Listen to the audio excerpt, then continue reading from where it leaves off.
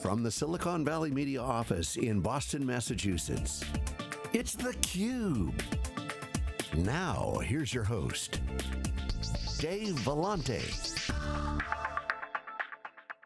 Welcome to CUBE Conversations, everybody. We're going to have a conversation about how customers are uh, getting, gaining analytic insights and what role both infrastructure and software play in, that equation. Jeff Kelly is here. He's a data strategist from Pivotal, and he's joined by Ted Bardasz, who's a senior director of product management for hybrid cloud platforms at EMC Dell. Gentlemen, welcome to the Cube. Thanks. Welcome back, Jeff. Welcome Thanks, back, Dave. both of you. Cube, both Cube alums. Jeff, you've done a million Cube interviews. I've but done a few. Good to have you back here in good the Wikibon studio. So, uh, so you guys uh, have a big announcement. We're going to talk about that. Uh, we're just, you know, fresh off Strata where we sort of had a full dose of what's going on in the ecosystem and some of the problems that we're seeing. So, Ted, let me start with you.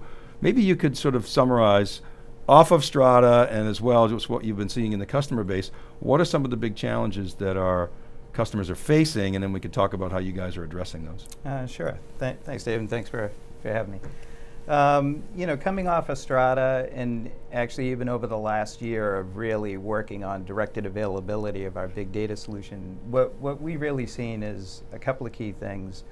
Uh, one, customers are looking for an end-to-end -end analytics lifecycle uh, solution. They're looking for someone to deliver them the software componentry and the infrastructure that can take them from discovering data, ingesting it, the analytics, surfacing the insights, and then actioning, having uh, actionable insights, being able to action them uh, so that they can uh, wring the uh, monetary value out of it and get the business value out of it. Uh, in that, what they, what, so for that full analytic life cycle, they also want it to be self-service, right? The people in IT that we're talking to, uh, they really want to be the hero to the data scientists. Right now, they're, uh, they're underserving them just because of the environment so complex. So when they get a request to stand up a Hadoop environment or a big data environment, it takes a long time. And then sometimes those data scientists or the data science professionals go out to the cloud, and, the, and that's through underserving them. So they're looking to get to a uh, governed, quota managed self service environment so they can really empower data scientists at the time that they want to uh, really investigate insights, prove out hypotheses. And then the third part of it uh, really is to deliver that as a fully engineered turnkey solution so that the, we can really help them and uh, out of Pivotal and uh, James Waters talks about, you know, above the value line in development. There's also an above the value line in big data and that we really want to take the data science professional and bring them to the point at which they're really focusing on how they deliver value to the company, and we take the burden off of them in terms of the uh, infrastructure and software stack gymnastics that they might need to get. Jeff, when you think about sort of the evolution of the whole big data ecosystem, it sort of started with, with Hadoop, really started it all, and people will debate, well, Hadoop doesn't equal big data and vice versa, but that really was what it got started. And the beginning is what is Hadoop, and then it was, we saw the, the distro wars, everybody mm -hmm. was mm-hmm. jumping in, and and, and now the ecosystem has exploded. There's an explosion of complexity uh, and a lack of applications. That's in, in part, anyway, why Fit Pivotal was formed. So where are we and how are you helping address both the complexity problem and the lack of applications? Mm -hmm. Uh, well, you're absolutely right. From a complexity perspective, I mean, if you were at the floor, Strata Hadoop World last week, there were, I don't know, 100 vendors. You know, half of them I hadn't heard of before, and a number from last year weren't there anymore. So there's a lot of complexity going on. There's a lot of different components required from the technology perspective from, from to address the entire data lifecycle. Uh, so that's absolutely true. Um, I think you need to step back, though, and when we talk to customers, is think about, first and foremost, what's the business problem you're trying to solve? And if you, if you start there, and then work back to the technology. I think that's probably the better approach rather than I think what we saw in the early days, especially with Hadoop, you know, people were deploying Hadoop and you know their so-called data lakes and they were filling it with data, but ultimately they didn't know what to do with it. Um, and it was very difficult to monetize that data because they just didn't didn't know what the what the use case was. Um, so you know when I was here at Wikibon, our research thesis was that the the companies that really going to get the most value from data, they're going to do it through applications. Um, and Pivotal really was was in part created to help facilitate it, facilitate that, help that actually become a reality. So really going from managing your data to analyzing it to coming up with insights and then ultimately delivering those insights in context to users through applications. And if you think about, you know, if you think about the disruptors in Silicon Valley, they do this really well. So somebody like Uber, somebody like Netflix, you know, they, I'm sure they use data in the traditional sense, in the background, they're running data warehouses and reports. But ultimately, the way they impact the customer experience is through surfacing insights in their application. So, you know, with Uber, you request a car, you get a little pop-up that says it'll be here in three minutes. There's a lot of data science behind that little pop-up. It seems simple, but there's a lot of lot of data science happening. And ultimately, you don't need to be trained on how to use that app. It's just in the context of what you're trying to do is get from point A to point B. So Pivotal, we're trying to help our enterprise customers do the same thing. Uh, and that's really what, what we're, we're all about. Well, the early days as well of, of Hadoop and big data where sort of the ROI was reduction on investment. We mm -hmm. sometimes joke, but it was true. It was that big sucking sound from the enterprise data warehouse. And, and you're right, people just throw stuff in, in, in the data lake, and people, again, tongue in cheek, they joke about the data swamp, but there's a lot of truth to that. So, what are you guys specifically announcing? How does it help people get insights from, from analytics and how does it help with that sort of data flow, data pipeline? sure, thanks, Um, so we're announcing the Analytic Insights module uh, at Dell EMC World. And what it really provides is it provides uh, that full analytics lifecycle coverage. Uh, so it provides capabilities for data scientists as they're looking to build out and discover the data that they need to fill out their analytics model, it provides them the ability to uh, see what's in the data lake as well as to be able to go out and sample data stores, content stores in the enterprise and even in the cloud, and within a button click to be able to see how that data model is coming together in completeness to see the relations that are done. So for the full analytics lifecycle on the front end, one of the key bottlenecks is that 80% of the time a data scientist is spent finding and, uh, and blending, wrangling data. So we're focused on the full life cycle, really some help on the front end so that we can help them not necessarily have to push everything into the data lake, but what's in the data lake is high use, but then on demand by being able to investigate, analyze, uh, sample, analyze, and bring in data on demand.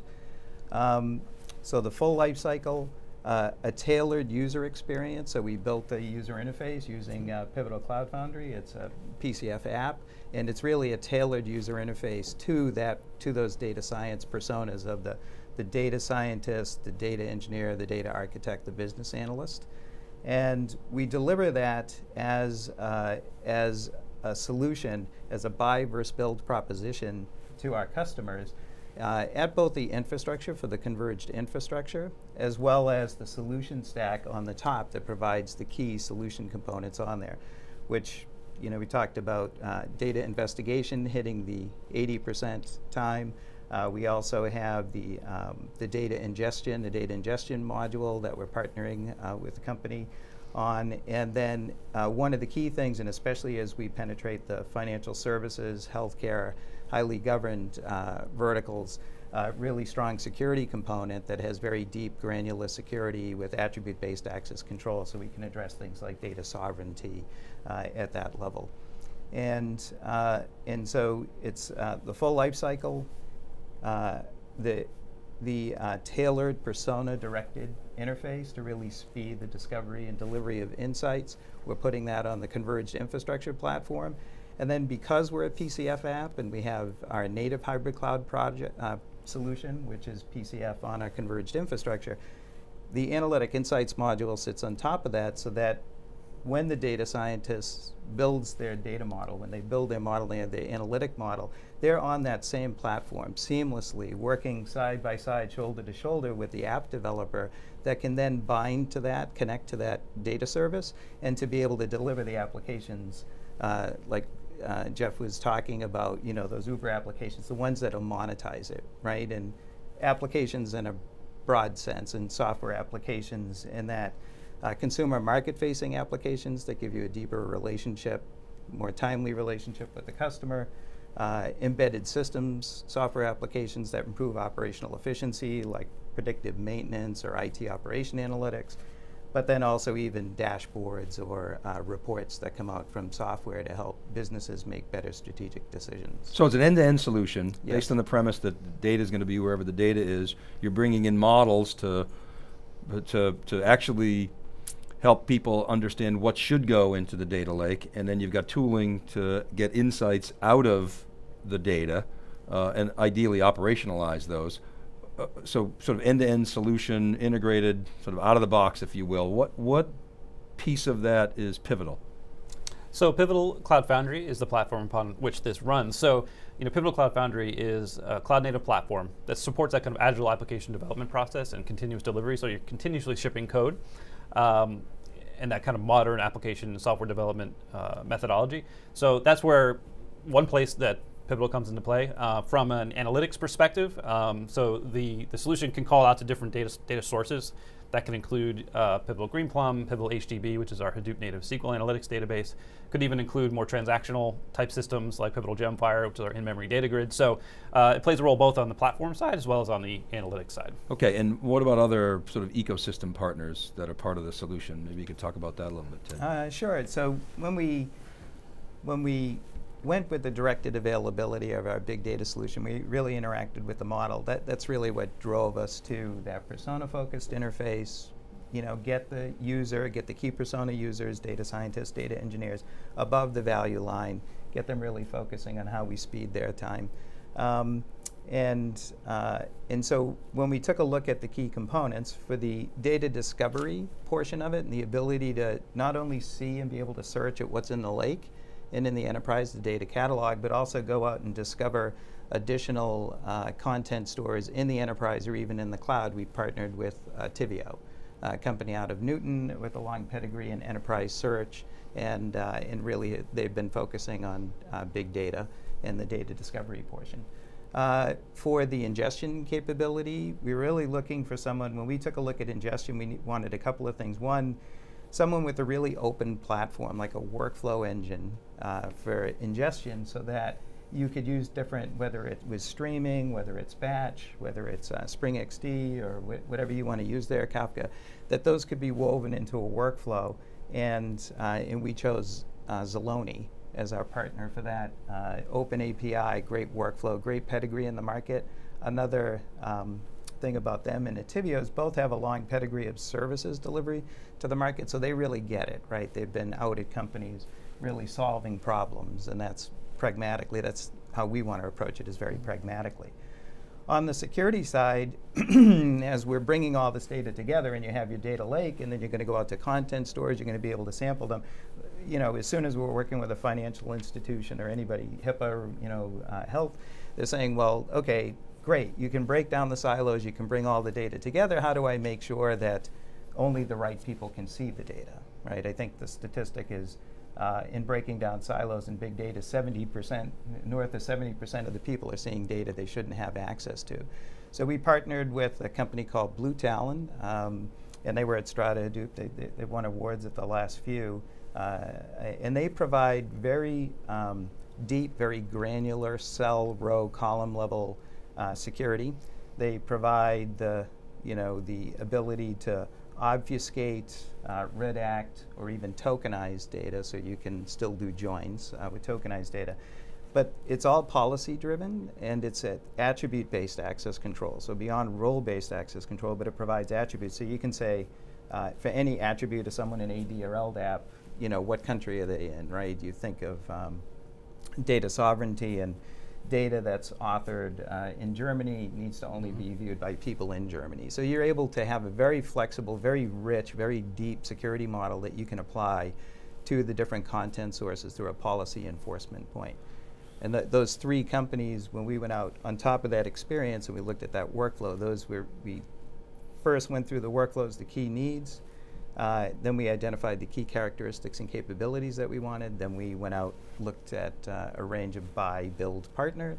Uh, and that's how we came up with the three partners we chose. And, was really pragmatic. And I purchased this solution from Dell EMC, right? I don't have to cobble together all ah, these yeah, solutions. great point. Yes. Uh, so one of the key assets of us delivering a fully engineered, validated solution is that there's a single line of support.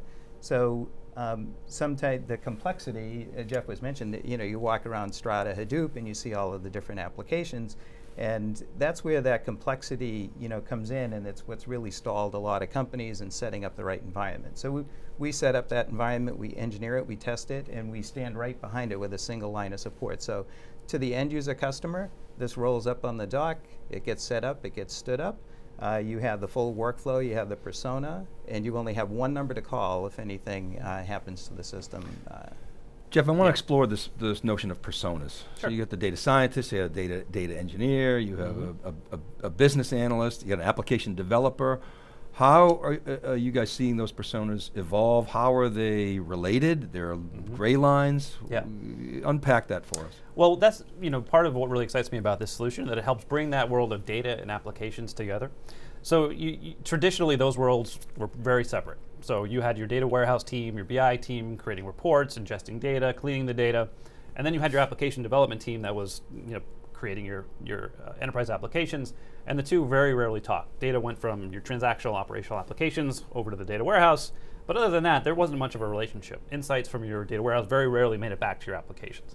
So what I really like about this solution is trying to bring those worlds together. Um, in terms of how those roles are blurring, um, you know, it's still evolving. I mean, if you go to most enterprises, it's still the case that they don't talk very much. Um, you know, part of what we're trying to do at, at Pivotal, you know, our mission is to transform how the world builds software and kind of bring the the way Silicon Valley companies build software, bring that to the enterprise. And if you go to a Facebook or a Google, you know, their application developers and their data people don't sit separately. They're working very closely together. They don't look at it as you know one or the other. And so we're trying to bring that mentality to enterprises. Um, and frankly, it's a it's a learning process for a lot of our customers. Um, but we you know we work very closely through our Pivotal Labs organization, through our Pivotal Data Science uh, organization, working side by side with our clients, data scientists and application developers, helping them learn to work together, um, educating application developers about to start thinking about when they're building applications where uh, analytics and insights might actually improve their application. Start thinking about the outcomes you're trying to achieve uh, and how data might be able to help that.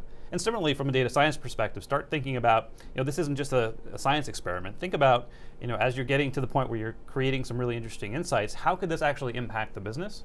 Uh, and then creating those lines of communication between the two. So it's just as much about culture communication as it is about uh, platforms and technology. Well, and, and as well, to what extent can you automate that cleansing part where data scientists spend you know, 80% of their time wrangling, you know, and figuring out if this data even has the quality necessary, which in part, by the way, has to involve the line of business to say, okay, is this right? Um, how can you help, or are you helping? with Well. I think uh, the way we look at it is, uh, in a lot of ways, you can you can look to new new advances in machine learning to help with that, help classify data. That's really a role that that, that can play. Um, you know, but it's still there are still areas where it's somewhat a manual process. There are tools out in the market that can help you, you know, cleanse data. There are data quality tools, data quality vendors out there. Uh, I think from Pivotal's perspective, if you look at our data science team, for example, and when they're doing engagements, you know, they really try to put machine learning and data science itself to work to solve the data quality problem. You know, machine learning can help you understand what data you have, can help classify data, uh, things like that. So that's one way to approach it. I think, I think ultimately that's the direction the market's going um, versus kind of more manual tooling. Um, still pretty early. We're, we- you know, there's a lot, a lot left to, to, to do to kind of crack that nut. But I think machine learning is going to play an important role in data quality. Ted, um, you're part of the solutions organization at Dell EMC, uh, which has had sort of a long history. What specific industries are you going after? Are you building solutions for you know those various industries? Yeah, uh, great. Uh, we, we are. We're targeting it, and we're really looking to build out the platform very pragmatically. As Jeff said, you know, the, the utility of big data really comes in and how it improves your business performance. And you know, so what we're doing is we're really targeting specific verticals and using that to pragmatically build out and extend the platform itself by saying, okay, these problems really is there one problem that only affects one market, but but let's really go in and deliver value in those particular verticals. And the verticals that we're targeting uh, have shown a good appetite of consuming big data well uh, and uh, going into production with it. Uh, telco, uh, telecommunications, healthcare, financial services, oil and gas, and manufacturing because of the IoT influence on uh, streaming analytics and also core and core analytics. So we're, we're, um, we're really focusing on those markets and the partners and some of the success that we've had, um, you know, partners healthcare where we've really uh, sped their ability to get to better health results uh, for people using their services. That those are good examples of you know how we're targeting a specific business outcome, delivering value, but then taking that back to the platform and then extending it. So that's just even that much easier for the personas that are using it.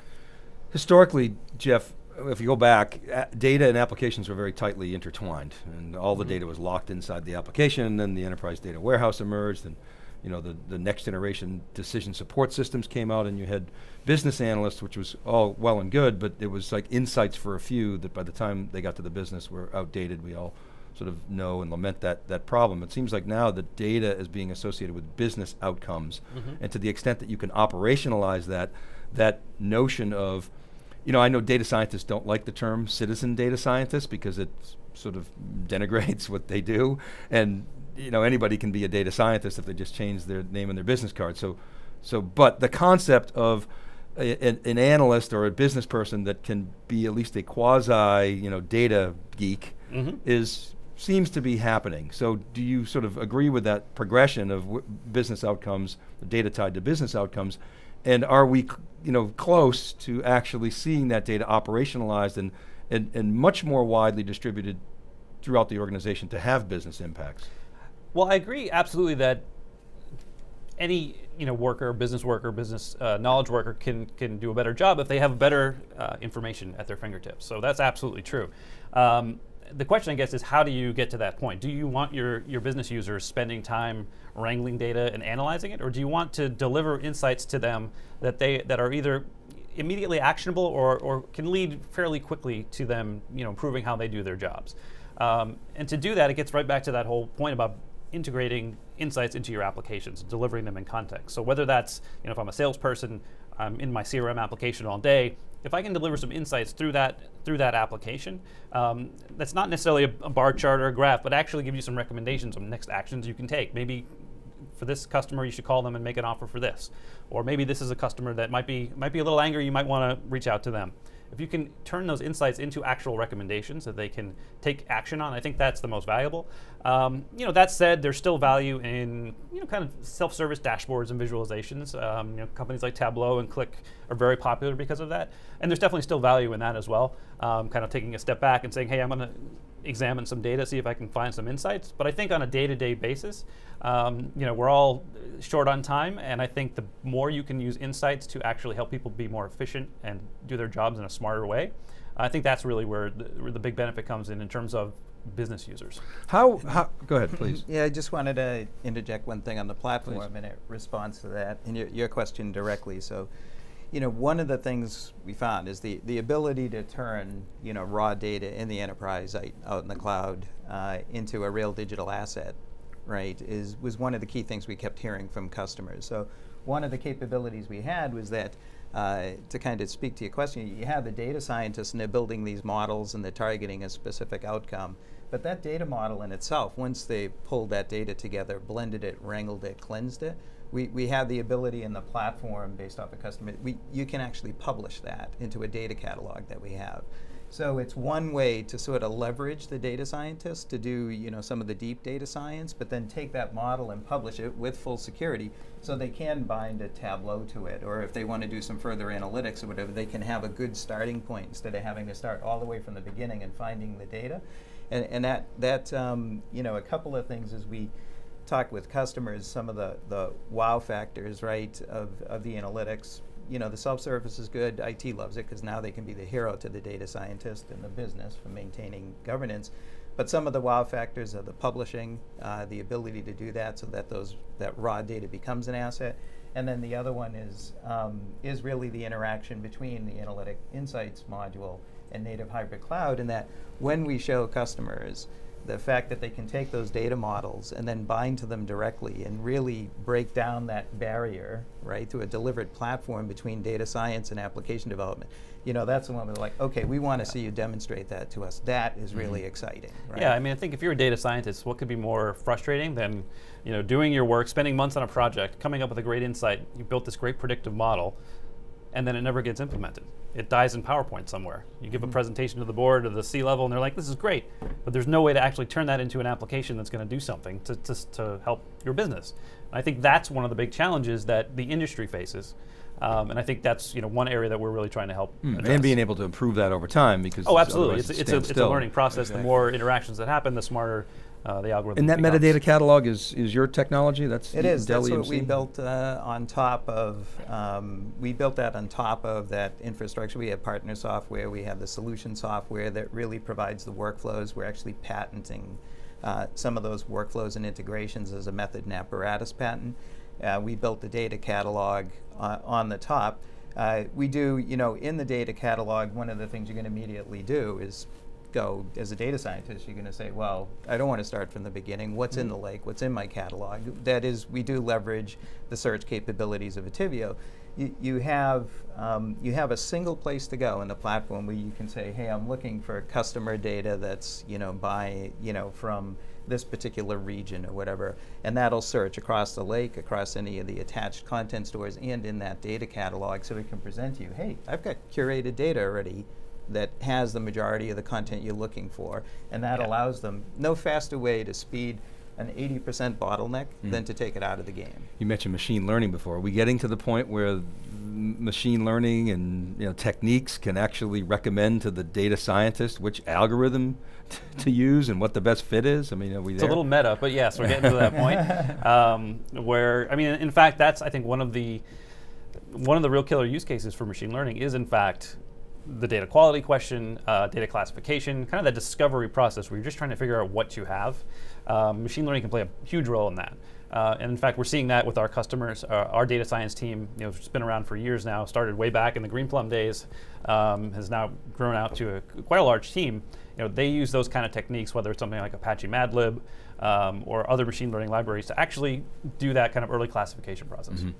All right, we're running out of time, Ted. And, but y- um, go ahead. And just please. one last thing on there. So when we're, you know, as Dell and EMC came together, you know, one of the key areas that is just a beautiful sort of, you know, peanut butter and chocolate, a one plus one equals three, is around IoT, right? Mm. Is around Dell's presence in the gateways and our presence in the core and being able to weave those together. The reason why I bring that up is that's a big area for machine learning, right? The ability to, uh, at the edge, have your analytic model, you know, giving you near real-time feedback at the edge, but then taking, you know, longer-term time series and more of the data back to the core, and then using machine learning to actually improve that analytic model out at the edge. So we really have this beautiful situation where we can have this like continuously improving loop, right, through deep learning. Well, it opens up the door for a manufacturing vertical uh, solution as well, where you know there's a backlash in a lot of the, the products that are that are coming from overseas. You know, consumers in the United States are saying, "Wow, they don't have the quality that I expected." And you are seeing a slow shift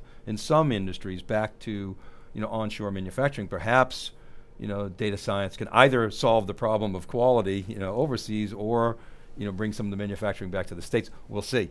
Um, so before we close, uh, you mentioned a directed availability a couple of times. What's the availability of these products? You know, when do they go Okay. GA?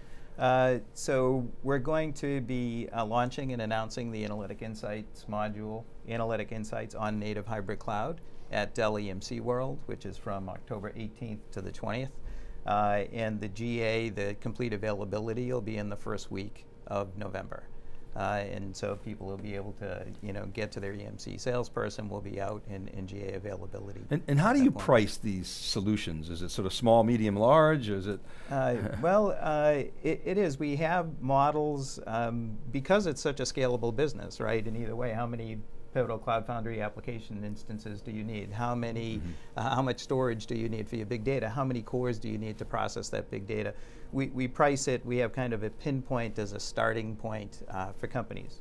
Uh, one AI pack, so 50 AI instances, uh, 75 terabytes of usable HDFS storage, um, uh, about uh, 90 or so cores on a converged infrastructure platform. And that really, that's kind of the, the seed. A lot of companies can start right there. They have everything, we deliver it, they open it up, and then they can scale out in any direction. More pivotal cloud, more uh, application instances, more storage, or more cores. And so we're prepared to go on that journey with them and give them a really nice model that they can extend in any direction. So that's the within it. starter kit. Have you announced pricing for that starter kit at this point, or not? Uh, we'll, we'll announce it uh, at, at- okay. at EMC We'll looking yeah, for Dell that. EMC World. All right, gents, great to see you again. Thanks very much Yeah, for coming you to very theCUBE. much. Jeff, Terrific. Thank Jeff you. welcome back. Thanks Good to have me. you. Thanks for watching, everybody. We'll see you at, at Dell EMC World. This is theCUBE. Thanks for watching CUBE Conversations.